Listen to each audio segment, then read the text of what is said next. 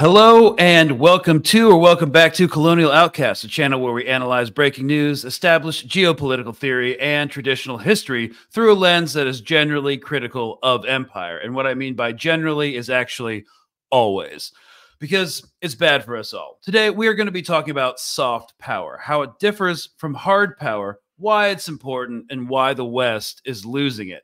And we're going to be looking at it in the context of America's and Europe's involvement slash complicity in the Gaza Strip G side. I'm saying G side for the next five minutes so that YouTube doesn't limit this post because they they, they play that way. Uh, and the ongoing war of attrition in Ukraine. To that end, we are joined. Okay, so we are recording this on a Friday, and I'm sure we're all burnt out. So I'm phoning in the bio of our guest, uh, Dr. Jennifer Cassidy, uh, for the benefit of the audience. And I'm just like copy pasting from the University of Oxford website. So Hi, uh, Dr. Jennifer A. Cassidy is a diplomatic scholar at the University of Oxford, where she lectures on diplomacy and international law, digital diplomacy, and gender diplomacy. Her PhD 2017 from the University of Oxford focused on the emerging discipline of digital diplomacy with a specific focus on the changing nature of digital diplomatic signaling and online strategic narratives during times of political crises. I'd say we're definitely in a few of those right now at the moment. So prior to teaching, uh, Jennifer served as a diplomatic attache to Ireland's permanent mission to the United Nations. European External Action Service to the Kingdom of Cambodia and Ireland's Department of Foreign Affairs and Trade headquarters during the presidency of the Council of the European Union. Uh, she also contributes regularly to media commentary, including the BBC, Sky News, ABC Australia, and the Irish Times. Thanks for carving out some time to hop on our humble little podcast to talk about the shambolic decisions our stalwart Western leaders have been making recently. Thank you. No, it's my absolute pleasure, and I'm so glad we uh, could finally get to chat. I am. This is uh, sounds straight. I'm a big fan of yours. I, I, you, you know that, and the wonderful work that you're doing online and off. So it's like it's my honor to be here. Truly. Uh, oh. Well, thank you so much. Uh, likewise, um, she's also um, Dr. Cassidy is also on uh, Instagram, uh, where she makes regular posts about ongoing uh, situations around the world, mostly centering Gaza, mostly. So we'll link her uh, bio yeah. or uh, links in the uh, description. And so, you can just call me just just Jennifer is fine. Just Jennifer is fine. literally, you can call me any other name, like uh, Mary, anything. One is as long as it's not Jenny. Nothing wrong with Jenny, but just I'm like any other name in the world as long as it's not Jenny. Uh, okay. But Jennifer is perfectly fine. You, you don't have to call me Dr. Cassie, but thank you. All right. Well, so uh, yeah, again, I'm glad we finally were able to make this work. It's been yeah. like, a, like a three month back and forth. Yeah. So. yeah. So, all right, y'all. Before um, Jennifer opens up, I'm going to give you a simplified definition of terms. So, hard power is essentially a coercive approach to international relations, uh, especially one that involves the use of military power. This can also be economic in nature through imposing sanctions and leveraging debt through institutions like the World Bank and the International Monetary Fund. So, according to Joseph Nye, he was this American political scientist who started defining these terms, which are now part of uh, academic discourse about mm. uh, political science. He said that a country may obtain outcomes it wants in world politics because uh, because other countries admiring its values, emulating its example, aspiring to its level of prosperity and openness, want to follow it. And again, we're talking about soft power in this context. In this sense, it is also important to set the agenda and, and attract others in world politics, and not only to force them to change by threatening military force or economic sanctions. This soft power, getting others to want the outcomes that you want, co ops people rather than coerces them. So, um, according to Joseph Nye, in contrast, what we, we see as hard power, which is essentially like might makes right, um, the mm-hmm. ability to use the carrot and stick of economic and military might to make others follow your will. Here, carrots stand for inducements such as reduction in trade barriers, the offer of an alliance, or the promise of military protection. On the other hand, sticks represent threats, including the use of coercive diplomacy, threat of military intervention, or the implementation of economic sanctions. So, basically, um, soft power is the ability to get people to do what you want them to do is in the most reductive terms possible by mm-hmm. not uh, imposing economic sanctions or military force. So it, it, it it's generally preferable from my perspective. Uh, the the neoconservatives in Washington and the Warhawks would definitely disagree, and we're seeing that play out in real time right now. Yep. To yeah. the to the long term detriment of our geopolitical standing. So um, I, I think you guys may have heard of uh, the city upon a hill in American mm. political discourse, which is a phrase derived from Jesus' Sermon on the Mount. It was originally applied to the city of Boston by early 17th century Puritans, but it came to adopt a broader use in political rhetoric. Uh, in U.S. politics, that of a declaration of American exceptionalism and referring to America acting as a quote beacon of hope for the world. So that's our own envisioning of our own soft power, which I don't think really uh, exists anymore. so before I get off my exposition horse, I wanted to get your thoughts on a clip from a politician from your neck of the woods, Lord oh, David well, not, Cameron. Not, not tech, my working neck of the woods, not okay. my not my the Irish and English distinction. my working neck of the woods, but yeah, the, yeah. Um, yeah, I mean, yeah. I, we, I, we, say no more. yeah, I, I, w- yeah. I, I wouldn't want to claim this guy either. So yeah, yeah. So here are some remarks um, from his trip to Paraguay, and I wanted to use it as an example to show y'all kind of this soft power speech, like shared values, mul- like multilateral trade. You know, are we we view foreign policy and economic and geopolitical issues the same way. So we're natural allies. So here's David Cameron from his trip to Paraguay. If you're just listening, I'll narrate what's going on. So what you're hearing is cameras from the photo op. Cameron hails partnership of values with Paraguay. I think the opportunities for partnership are many and great. I think there's a fantastic opportunity for partnership in trade, as you say. Many companies can use Paraguay as a great place to invest and to grow. I think it's also a partnership in values, as we were discussing just now with the President. I think the opportunities to work together on uh, green issues and climate issues and sustainability issues, and I think the opportunity to work together on some of the global issues face. We had um, excellent discussions uh, with your president, discussions about the situation in Ukraine, discussions about uh, the crisis in the Middle East, and also the many issues in your neighborhood, in your region, where we can cooperate together. Yes, the situation in Ukraine and the crisis in the Middle East. Yeah, yeah. There's always there's always no words for him, but um, would you like me to comment on, on that? Yeah, I, I just, um, I, just before you open up, I, oh I yeah, yeah, of course. I, yep. I, I, just wanted to reiterate um, that countries that kind of share these same values are more likely to uh, work together. So I, would say that um, now that the U.S. Is, and U.S. hypocrisy is manifest over this Gaza situation, China and Russia are looking like better trade partners. But mm-hmm. uh, yeah, uh, please go go ahead.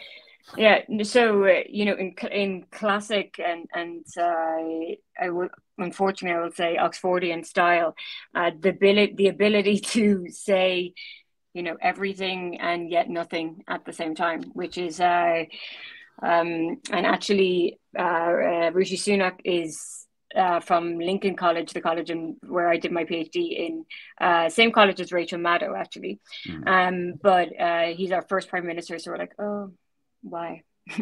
Of all the but um re- regarding uh, Johnson if you it's not Johnson God if um uh, uh Cameron there's so many of them I can't remember being in the in the last while.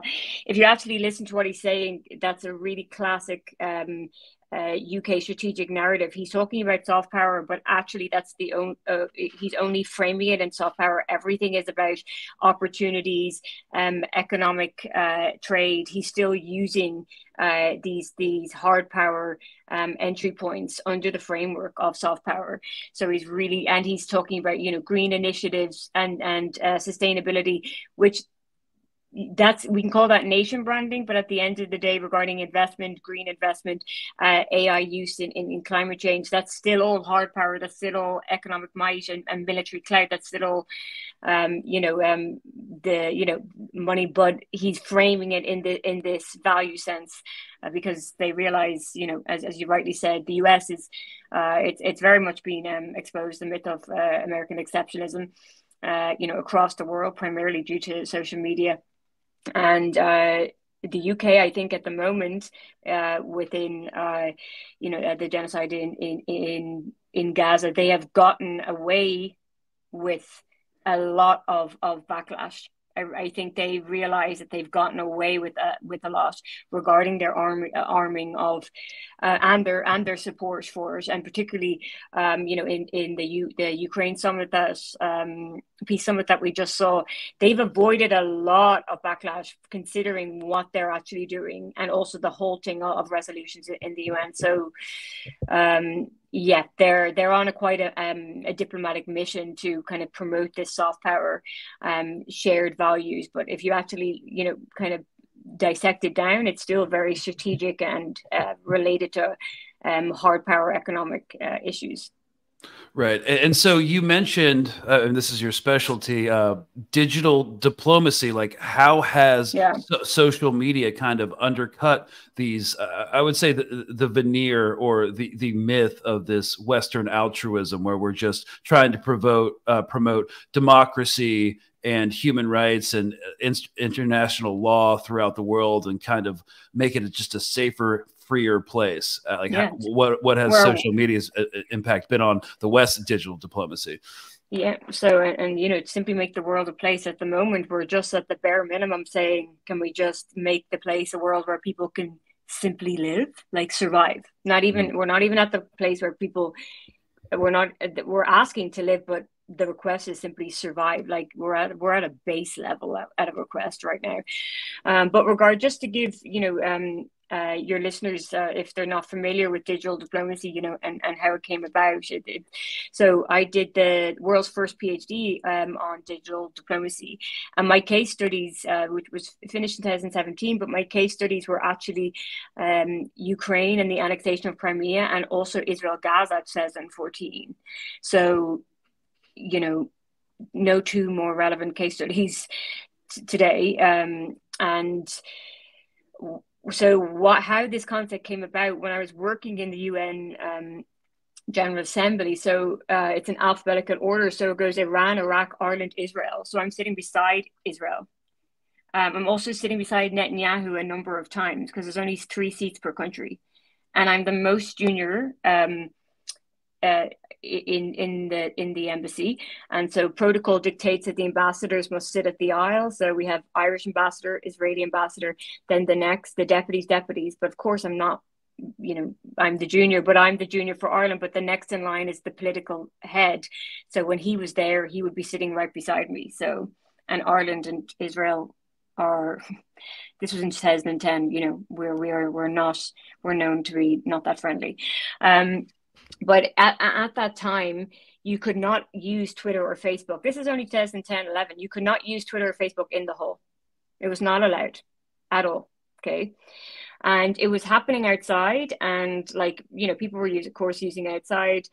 And i just thought okay there's no way this is not going to come into diplomacy right? Mm-hmm. we've seen every single technological wave come into diplomacy. One of the famous phrases is um, in 1851, the British Foreign Secretary, Lord Palmerston, when he received his first telegraph, he said, By God, this is the end of diplomacy. That's because he had to reply. He said in his diary, This is because I have to reply within four weeks. He said, How am I going to attend my dinners? How am I going to attend my ambassadorial dinners if I have to reply within four weeks?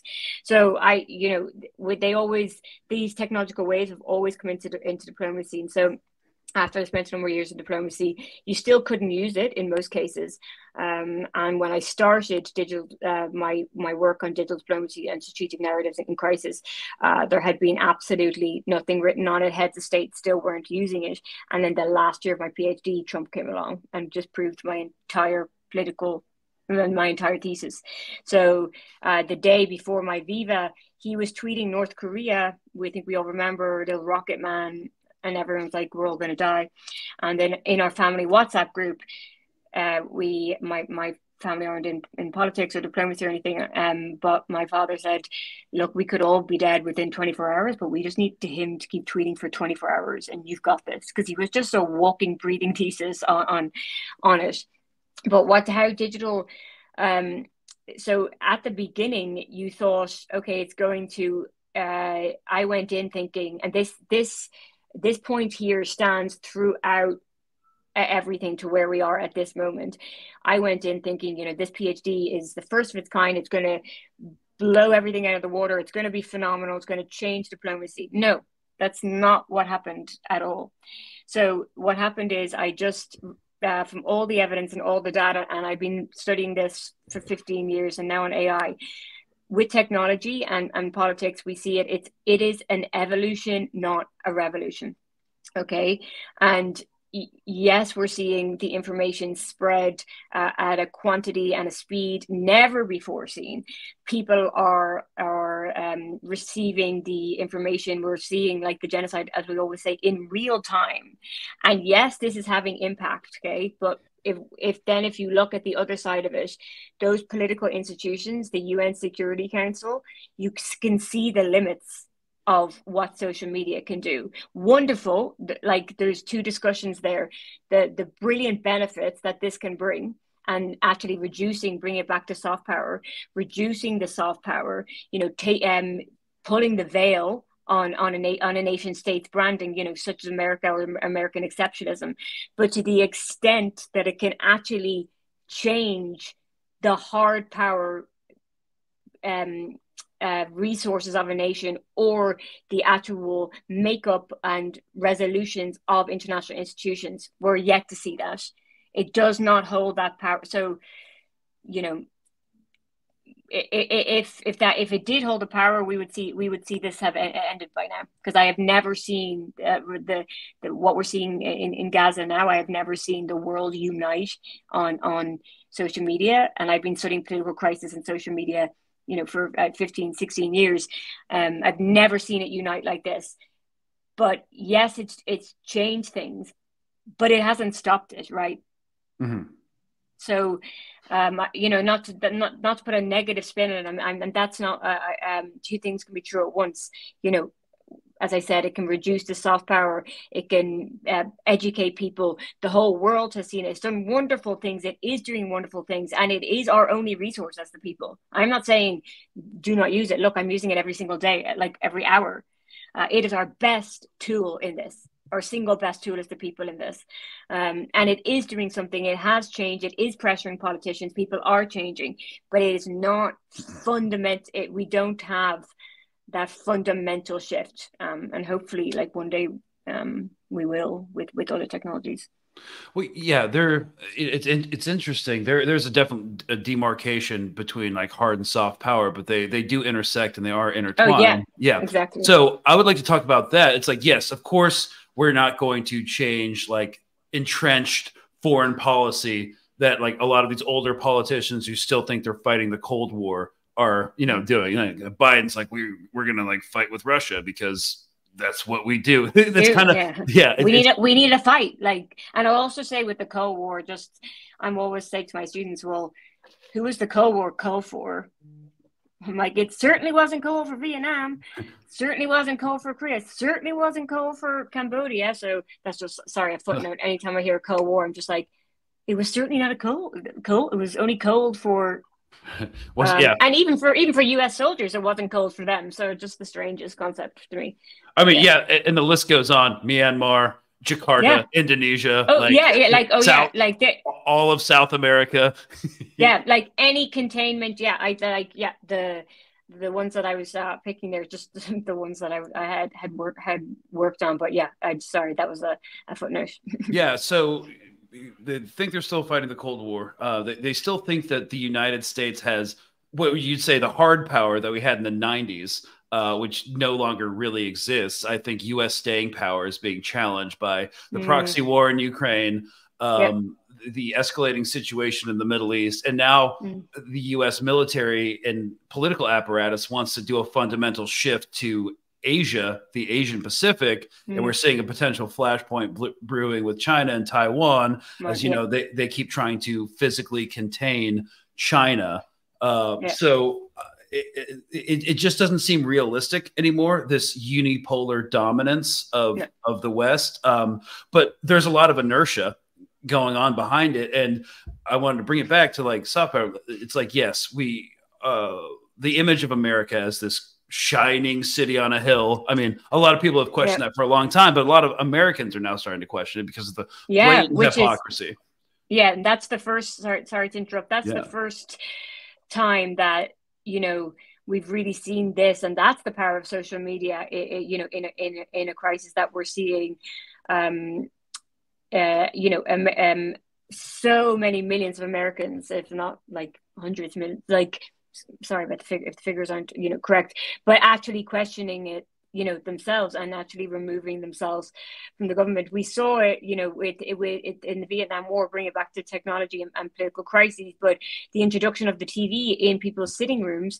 was actually the core like one of if not the direct correlation to the to the protests that we saw on campuses because for the first time people saw on their screens oh hang on this is not the jingoistic war that I was sold. Like this, this is what happens in war. They were seeing actual footage, footage of what was going on. Was like, oh, hang on, this is not what we were sold regarding a war.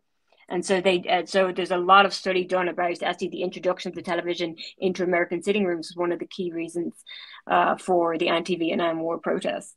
Yeah, and also seeing footage of the National Guard smoke four students at Kent State in 1968 yeah. didn't help either. Exactly. Like, wait, yeah, our, you know, our own government is willing to do this to us over a illegal war. Huh, that's problematic. So uh, yeah. uh, the uh, the Vietnam corollary is also interesting because that kind of highlight um, and emphasized U.S. foreign policy hypocrisy, where the communists were the ones supposed supposedly doing this. It's like, well, they may be somewhere, but like we're doing it way more also um, how it also exposed the influence of the military industrial complex mm, on our mm, government and so and what what I talk about when I talk about like this pro Palestine movement and you know pushing for a ceasefire in a uh, a Palestinian state, like Vietnam, that was like ten years of activism and direct action. It took ten years because like soft power was degraded for a long time, but it took a long time for that to yeah. shift foreign policy. So I, exactly. I wanted to ask you about like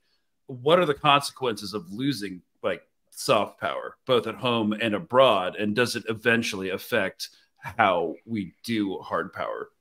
So the yeah, so no, a great question, and, and you know jo- Joseph Nye's um, concept of uh, you know soft power and um, he's an Oxfordian himself, so we, we would have some good people. I actually not not not to name drop, but I do meet him do meet him once a year uh, because he's well, a lot of Americans are have li- links to Ireland, and mm-hmm. when I met him once, this is I know a little off topic, but I think it might be just somewhat of amusing. I went up to him, and I didn't want to seem like it's. I couldn't just say, "Oh, we're just two diplomatic scholars hanging out." Like, no, you're Joseph Nye, and I am like the beginnings of barely any diplomacy scholarship. So I just said to him, "Oh, I'm a big fan of your work," and he said, "Oh, really?" And I said, "Well, let's just say you, sir, are my Beyonce." and he and he and he was like, "Oh, that's quite the compliment." And then we ended up chatting for like an hour, and we we stayed we've stayed in touch. But so I say this uh, about soft power, backed by his voice and my conversations with him on it. So that's why. So um, wonderful conceptualization on, on, soft power, but exactly as you said, uh, you know, ask, asking your question, um, the the ability of soft power to erode and to erode public opinion is is quick, okay, mm-hmm. but the ability for it for that public opinion to actually have as much pressure as is needed to change any foreign policy or domestic um, policy objectives and aims. Uh, the the road is long, exactly as you said in, in Vietnam, and you know we see this, uh, you know, in Gaza, and and it's not you know not just just Gaza. You know we're seeing it, uh, you know, in numerous countries around the world. That you know it's almost shocking that the entire world can be screaming at their their politicians. Like out in there are millions, there are thousands, depending on uh, their uh, the numbers in their nation state, and the, the, the government still doesn't change like mm-hmm. still does not change their policy and so it is a long long road with the erosion of soft power now there can be regarding the internal erosion what, what by that i mean the the national people of the country um going against the core aims and, and policies of the government eroding that now the eroding of soft power um, globally comes very fast, right? This has been quite a quite a quick downfall for for for the US and a and, an even faster one for Israel for for mm-hmm. no one who knew about it before. Um, and you know, I really don't. One of my big irks is that when people comment and and say things like, "Well, you know, you know, so, some people come and say, "Oh, I, I'm just hearing about this now, but you know, I'm supporting Palestine and someone comments under, you should have known about this before. I'm like, no, no, like it's one of my, I like, I have, you know, to use that word, the privilege, but I have the privilege to be able, this is my job, right? This is my job to, to understand and learn about this. Like my, like my family who are not into this have you know have to go out every day to to work nine to five jobs put food on the table. You know some people do not have the time you know uh, like okay regarding now everyone knows about Gaza but i'm talking about beforehand right? Not everyone has the time and the luxury to be able to you know know all this when they're trying to just feed their family to put the the table. So it's very very uh it's just it's a, a very very important that we do not take down people when they're now uh, because of social media. Um, they've learned about this, they're learning about it, understanding with Palestine that we immediately respond, you should have known about this, you know, 20, like, yeah, maybe you should have, but like, we don't know people's lives, you know, um, and they're doing the best we can. So it just that, yeah, that's a, another, I do go on the tangents, but, um, I, um that but yeah to, to to tie it back actually just to finalize that the the the fall of soft power globally can be very, very fast, uh, like we're seeing with Israel and and the US because of social media. Like mm-hmm. Uh, and it, it and it wasn't fast before before that, even with mass media and the introduction of 24 hour news. Um, but and it can also um, rise extremely fast. Like we saw the example with Japan mm. recently. Like, oh, oh, there was one that was one hotel, and everyone's like, "I'm off to Japan." Like, um, you know, whether they do that or not, that strategic narrative that's that's that's put around uh, social media and, and, that kind of nation branding as well, which is linked to soft power, is uh, you know wonderful uh, for for a country. You know, I think an interesting case study um, in the, the the rapid rise of soft power. I mean. There's also some elements of hard in, in, this example, but the Houthis coming out of nowhere yeah. and becoming a global player. Um, yeah. I, I, knew a lot of, I, I, had some contacts in Yemen who are straight up like Houthis are a terrorist organization. When they took over Sana'a, they murdered uh, so many people. And now, in the, the course of six months, they're like, you know what? These guys aren't so bad. Uh, yeah. Uh, and, and also, um, they're in a geostrategic location that allows them to be a massive inconvenience to the rest of the world. And that, in conjunction with a cause that a lot of people support, which is just for a ceasefire, because they've they've said they'll stop, you know, yeah. um, attacking ships once a ceasefire is called. Hezbollah is saying the same thing in the north. Hezbollah also, I know some Syrians who really hated Hezbollah because of what they did during the civil war, yeah. uh, Syrian civil war. Now they're kind of changing their opinions uh, so the, the rise, the the shift in soft power between like the West and what the West considers these terrorist organizations has been really interesting to watch. Yeah, and, and partic- and again, all all all uh, fueled and, and um, you know uh, brought out brought out by social media. We would have you know we would have never um, we would have, would have never known this, and you know the one reason you can get behind that, I think, is uh, my belief is that you know what is happening, what we are seeing is horrific. Doesn't even cover it like that. Where I can't even find words. I don't think humans should have words for what's going on. You know, after um, the Holocaust with the Nuremberg tribunals, like the crimes against humanity were created, uh, the, the, the wording. Then we had crime of aggression. You know, words were invented. Then genocide. Words were invented for things that should never have existed. Just like we're seeing that we should not have words for this. But what we what we're we're seeing now when people are working together, you know, whoever they may be, for the as I said, the most basic level of letting people live.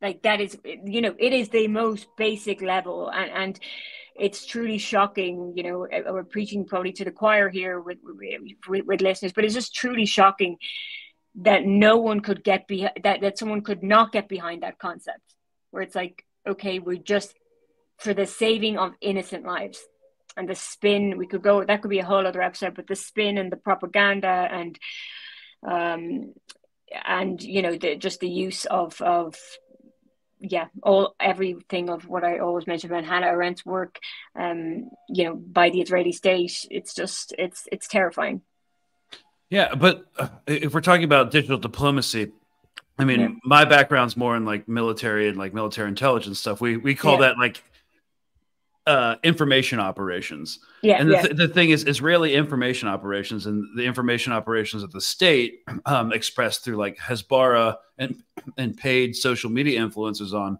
hmm. Twitter or Instagram yeah. or TikTok. It's been very unsophisticated, but somehow it's still been very effective in keeping people on board. You know, with obfuscating narratives like Israel has the right to defend itself. Uh, they use human shields and uh, uh, you, what what's so strange to me is like watching the veteran community when I was thinking about this. It's like they they start saying these these narratives too. Like it's effective with them, which it shouldn't be because there's like Hamas doesn't fight in uniforms. It's like, dude, I deployed four times with you. We never once fought a person who was in uniform. Why is this argument working now? Why, why does yeah. it work with Israel? It didn't work with us when we were part of a coalition task force during the unfortunately named global war on terror. So um, yeah. I'm just wondering, like, uh, from a digital diplomacy standpoint, like, how does how does that fly? Well, it's well, fundamentally stupid. Yeah. Oh, yeah. Well, I couldn't agree more. But the even yeah, they, you know, I, I know you're saying there that they have, you know, it's somewhat unsophisticated. Yeah, it's unsophisticated, perhaps in its, perhaps the the what we see as the narratives, mm. you know, being played out. However, now much to my my my shame, but I have been in the Israeli Foreign Ministry. I had this is when I was like uh, living in Palestine when I was working um, on on my on my PhD, and so I've also seen, you know, and just as you mentioned that uh, in universities they pay uh, students twenty dollars or you know equivalent an hour. Uh, and this was 2014 when one of the the it was deemed a conflict um, that, that, that I was working on, uh, but they did this as continuous. So twenty dollars an hour to um, after after their lectures, whatever, go into the computer room and simply just engage like with with commentaries. Like keep exactly as you're saying keeping these narratives out going. And so it's not bots it's not these are actual people you know working mm. get, getting paid. Quite a sophisticated and that just that is just like one piece of of the the, the whole puzzle. Um it is quite a sophisticated operation regarding digital diplomacy. It's not if if if not the top it's like one of the, the it's the second best in the world when it comes to like digital diplomacy um, and and and uh, strategy. Uh, but it, you know why why these narratives work? Um, so that is less to do with um, the actual uh, dissemination of them and the the as I said the payment of people or kind of the the the tools that's more just to do with our human psychology. So that's why I always go back to Hannah Arendt. Sorry, I butcher her second name. I'm awful at. Um, yeah. The the Irish are not good. I can say that collectively at. Uh, we try to be good at Gaelic, our own language, try, uh, but we're not good at most other languages. Um, apologies to those Irish who very much are, but I'm not. Um, but Hannah Arendt, A R E N D N T. So, uh, you know, she was, for, for those who may not know, she was a political scientist um, who escaped Nazi Germany uh, during the war and uh, went to the US and became one of the greatest, in my opinion, political scientists of all time. Uh, she wrote The Origins of Totalitarianism, a very worthy book to read, The Banality of Evil, and she actually um, uh, was one of the people who um, created the foundational concepts for the Nuremberg Tribunal. So uh, this is different because I worked myself on the Khmer Rouge tribunals where we only tried five people, um, so the five leaders. But Hannah, Hannah Arendt said, um, no, no, like you can't just try the top officials of, of, of the SS. Everyone needs to be tried because the person on the train and this is where this is what i believe if the if we get to the icc tribunal okay? Uh, this is i i fully believe in this is how it should be run. If the person on the train knew where that train was going they are responsible. If the person driving the train knew where the train was going to they are responsible. So yes you can always have these kind of psychotic i don't even want to call them psychotic because that lets them away with something these you can always have these kind of um, you know top leaders doing committing these horrendous crimes but you need the bureaucratization of evil you, she called it. You need all these cogs in the machine which is exactly what we're seeing in in, in israel. Because without that happening this this could not take place. You need everyone in order. And so i hope in in, in the icc uh, if it if it comes to trial that that is the foundation and not the khmer rouge um, that, that we're going to see. But again another tangent as you can see i'm queen of tangents.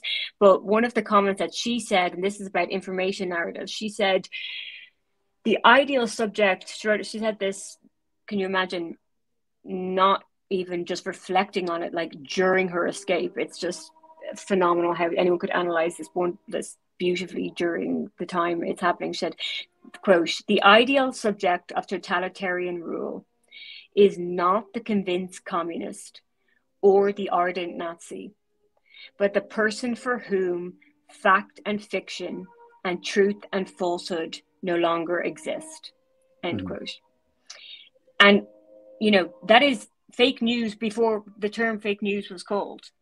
It's so because social media and disinformation has created such a world where we question everything. It is not the people on the hard left or hard right, we're going to call it. It's the people in the middle where there's no distinction now between fact and fiction and truth and falsehood. That is where the Israeli propaganda machine comes into play. It's putting the doubt in their mind, and then people don't know what to stand up for. Um, and you know, another quote that she says is, you know, uh, it is far easier to act than to, than to, t- to think in times of war. You know, um, and so because she says if you be, if you literally begin to think and analyze what's going on, then you will automatically see the absurdity of what is happening and the truth will be revealed. So it's getting people not to think about things, just putting narratives out there, keeping them going, like the same ones all the time and we may think it's absurd going oh come on think of something new. But if they keep coming at you people don't you know they they have an inability to think and analyze they just take it in.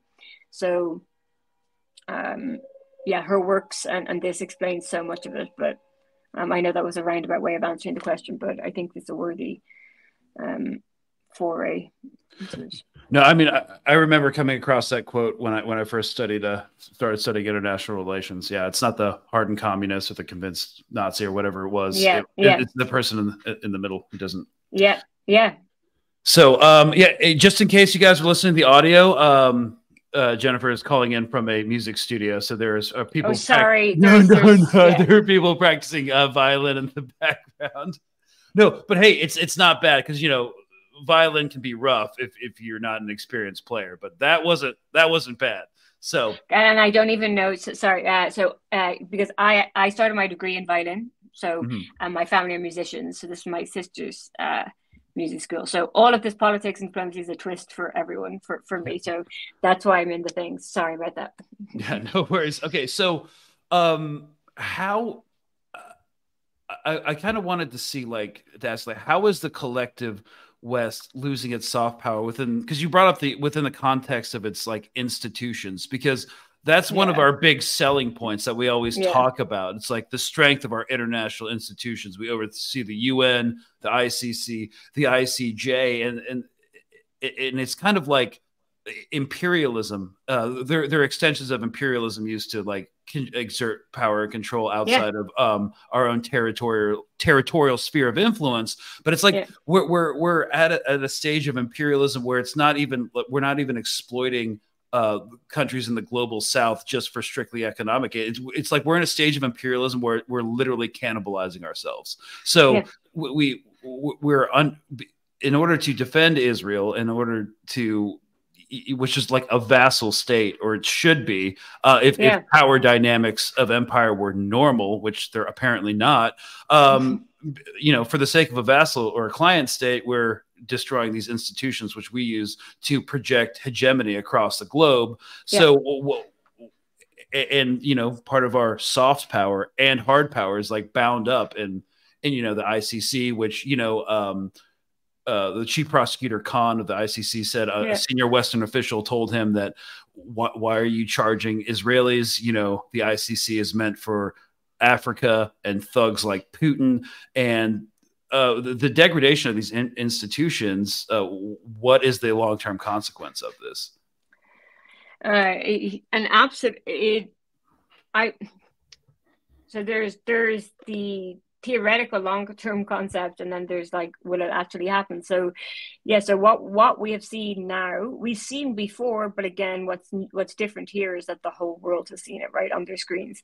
But what we see now is everyone knows how powerful and how much power those five permanent member states hold first let's talking with the UN in particular um, at the Security Council you know and i i remember uh, in october november when when when when people were calling when, when st- the un resolutions in general assembly and you know i voted in them many times people were saying well how on earth is there not a pause when we, the days we were talking about pauses? Don't get me started but like pauses or ceasefires.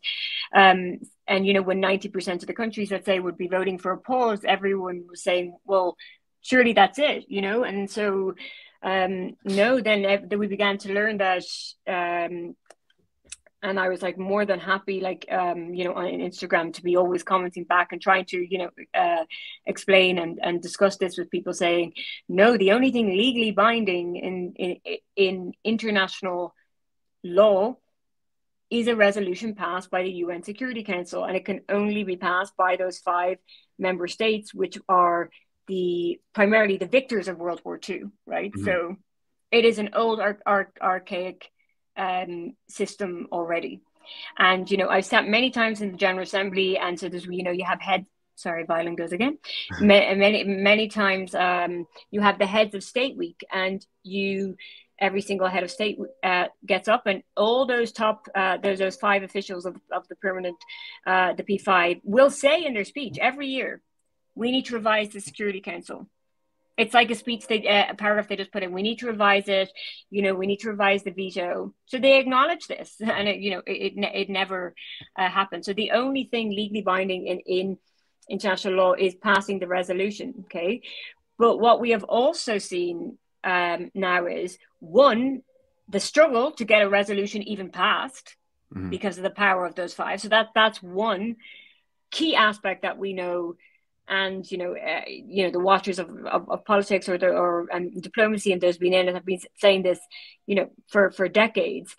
But two, what we're what the world is rightly seeing now is one of, for me, the key issue in all of this, along with the the P5, is is enforcement. Right? Mm-hmm. There is you can pass the resolution it has been passed, you know, due to an, an uh, you know, uh, the U.S. abstaining, but it's it's been, oh sorry, Russia abstaining, but it's passed. But there, the UN does not have enforcement mechanisms to to make their resolutions legally binding. The same is true for the judicial wing, which is the ICJ of, of the UN. The key issue is they do not have enforcement mechanisms. The same with the ICC, they have small aspects of enforcement, but unless the, those people, if let's say arrest warrants come out, unless that they're actually go to a country where they're arrested, um, they can't be. And the, this usually all works fine when we're dealing with medium, small sized states, actually, pretty much every state mm-hmm. other than the P5, right? But if you have enough power, and this is where hard power comes in, doesn't matter about soft power, if you have enough economic might and military clout like the P5 do, mm-hmm. it does you it doesn't matter. Even if uh, an arrest warrant comes out you are you're not going you are not going to be arrested. Because another country is even if you even if you entered the terrain of another country who signed up to the ICC and they have let's say strong um, economic links with your country they're not going to arrest you because that's going to ruin their ruin their economy. So these top that's where hard power still comes out on on on top. Mm-hmm. you know these these top people can get these top particularly the five um, can get around uh, the, the enforcement issues no problem. So enforcement is one of the key issues it can be solved when countries don't have the power, soft power or hard power, you know, to put up a fight. But when the countries that we actually need to stop committing mass murders or atrocities like we're seeing now, um, they, who have the power, the economic might, and the military clout to do so, we can't enforce it. Um, and also, the US has not signed up to the ICC, right? Um, and so, and it's also saying it's going to sanction the ICC. So yeah, we'll see about um, that. Yeah. So I, I think um, when when it comes to co- coercive force, also to enforce these ICC and ICJ decisions. Um, there has to be a political will from the United exactly. States to do so. So I wanted to just before we end, because I know you got a class, I just wanted to pull yeah. up an article from the LA Times from 1993. Um, that I, I, I just, Yugoslavia. No, this is Somalia. So, oh, okay. um, it, it, 1993. Uh, if you guys don't know, it was popularized this this short conflict. Uh, and the U.S. involvement was popularized in the movie uh, Black Hawk Down. So, mm-hmm. Aidid's arrest is crucial. Uh, uh Mohammed Farah Aidid uh, was uh, a Somali warlord. We're not going to get into the con- uh, the thing, but uh, Aidid's arrest is crucial to UN principle. War crimes, how the Somali is brought to justice will become precedent for international law. So when we say like these international institutions are made for are, are made for Africa, this is kind of what we're talking about because mm. then a UN uh, peacekeeping peacekeeping task force, which involved U.S. Special Operations Forces like Delta and Ranger Regiment, uh, was mobilized to, uh, you know, basically find, fix, and detain uh, Mohammed Farah Aidid. So there are ins- it, it, the ICC and ICJ basically don't really have a lot of coercive force unless the United States wants it to. Exactly. So yeah, it's at the um, and that's the you know that's the the, the the the point I was making, saying the enforcement happens when you have everyone outside those with the greatest hard power. So it works on that, but when when when when when you do not have the backing, you know, particularly of of, of the US, um, no, it's it's not going to happen, and you know that is uh, not a place clearly today we want to to to be in, and you know it's the enforcement mechanism there, you know, that or the lack of enforcement mechanism when you don't have those hard powers um, or kind of top global powers be- behind you in the hard power sphere, you know, is is nowhere more kind of um, the, there's no no greater spotlight, you know, than than what we're seeing uh, today, which is, you know, just I, again horrendous. You, can, you can't even use words like horrendous, but um, you know the you know I have no really I have truly no words for for uh, how on earth they're going to get justice and and and bring it. But you know, uh, I always say these are things that never thought possible in other circumstances mm. in in the Khmer Rouge tribunals like I never thought that uh, you know uh, you know speaking to all the people um, in in the Khmer Rouge uh, not in the Khmer Rouge sorry correction who have who were uh, families were taken and murdered by the Khmer Rouge, uh, they said, "Look, we never thought we'd see a day when we would have a trial, let alone convictions. So we got convictions of crime against humanity and genocide. And so, you know, hearing that and the court was packed. So every day, so every day from Phnom Penh, the, the, the tribunals were like an hour outside and they, we would, uh, you know, the, um, go in, go into the bus. Um, and yeah, sorry, one moment. Sorry um, the going to the bus and the uh, I was working for the European Diplomatic Service, and as the ambassador rightly said, he said like, look, these tribunals are for the people. They are for the people to see justice. Yes, we don't have it like the Nuremberg where everyone's being tried. There's only five members, but justice is being some justice is being shown, and we never thought we'd see a day when when this happen, when this would happen. So even though I get quite down and and worried about how on earth are we going to enforce this on states like you know the US and uh, on and Israel? Because this is a you know a different game that no one has played regarding international law and enforcement. Look law international law uh, it was you know is not guided was not brought by a bible a torah you know a quran. It this is man-made. It, it can grow it, it can evolve customary international law. And you know we can uh, I just hope it will grow and change with what the reflections of the at what the people actually want. So I think I think it is possible. It's going to be a long road, uh, but uh, I certainly think we need to uh, believe in the courts while also recognizing its flaws and its issues. You know, both can be true at once. We don't have to hate the court, and we don't have to uh, love the court uh, we can you know try and work work with it uh, to try and improve it and get justice some semblance of justice no true justice will ever be served for what is happening but yeah well thanks so i think you're uh, you're out of time um, yeah, yeah. Sorry. Uh, so much for uh, coming on mm. with this kind of like loose freeform uh, conversation about soft versus hard power i guess the, the main conclusion is soft power the ability to co-opt rather than coerce is easily gained, as we see with the Houthis, and easily lost, as we've seen with yeah. Israel. Uh, and it does take the loss of soft power and sustained loss of soft power to finally influence foreign policy and Definitely. the movers and shakers of hard power. So, as I said, it's a marathon, just like the Vietnam yeah. backlash. It's not a sprint. So, um, just wanted to say thank you so much for no, thank you. On. It's, it's been, I'm so glad we finally got to do it, and it's been an absolute joy. Thank you. Yeah. Well, I won't say joy regarding discussions, You know no. what I mean?